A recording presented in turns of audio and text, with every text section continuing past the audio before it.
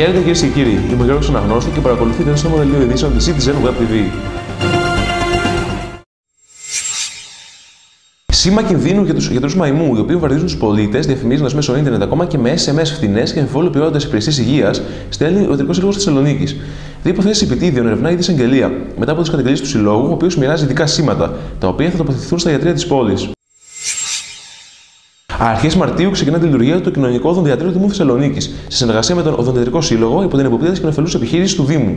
Το Κοινωνικό Οδοντιατρίο που στεγάζεται στην οδό Δαναίδων 9 θα καλύπτει τις ανάγκες των αναξιοποδών πολιτών μας.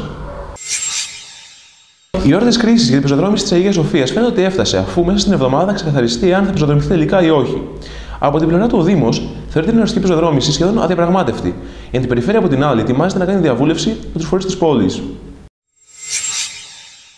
Στα διόδια των Μαλγάρων συγκεντρώθηκαν το μεσημέρι φοιτητέ και καθηγητές του Δήμου Θεσσαλονίκης για να διαμαρτυρηθούν με συμβολικό άνοιγμα των διοδίων και με διανομή ενημερωτικού υλικού για τις αλλαγές που προβλέπει στο Ίδρυμα του Σχέδιο Αθηνά.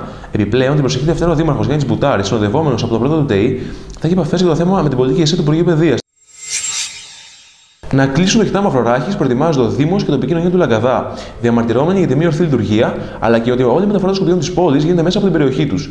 Σύμφωνα με τον Δήμαρχο Λαγκαδά, αν δεν αλλάξει κάτι άμεσα, θα απολογήσουν το χιτά. Επίσης, ο Δήμο Λαγκαδά θα προχωρήσει και σε δικαστικά μέσα, προκειμένου να επέβει ο εισαγγελέας, αφού υποστηρίζει ότι προσβάλλεται η υγεία των κατοίκων της περιοχής. Ένας 37χρονο συνελήφθη μετά από καταδίωξη και σύγκρουση του όχηματό στο Κορδελιό. Ο 37χρονο, για να αποφύγει έλεγχο της ομάδας Δίας, τράκαρε και συνελήφθη. Σε έλεγχο που ακολούθησε, βρέθηκε στην κατοχή του ένα μικρό δέμα κάναβης βάρου 1,5 γραμμαρίου και το ποσό των 5.000 ευρώ, την κατοχή των οποίων δεν μπόρεσε να δικαιολογήσει. 24 ώρα απεργία πραγματοποίησαν σήμερα οι έκτακτοι αρχαιολόγοι. Οι αρχαιολόγοι διαμαρτύρονται για την κατάργηση της συλλογικής τους σύμβασης και την υποβάθμιση των εργασιακών τους δικαιωμάτων. Εξάλλου, οι εργαζόμενοι καταγγέλουν την εργοδοσία του Μετρό Θεσσαλονίκης που ανακοίνωσε μαζικές απολύσεις 400 ατόμων. Νέα ζωή, χάρη σε ένα χειρουργικό θαύμα, απέκτησε μια 19χρονη. Η κοπέλα επευλήθη σε ενιαία αφαίρεση όγκου, πνεύμονα και καρδιάς από εξειδικευμένη ομάδα γιατρών του Ιατρικού Διαβολικανικού Κέντρου. Η διάμετρος του όγκου ξεπερνούσε τα 14 εκατοστά, ενώ η επέμβαση αποτελεί παγκόσμια ιατρική πρωτιά.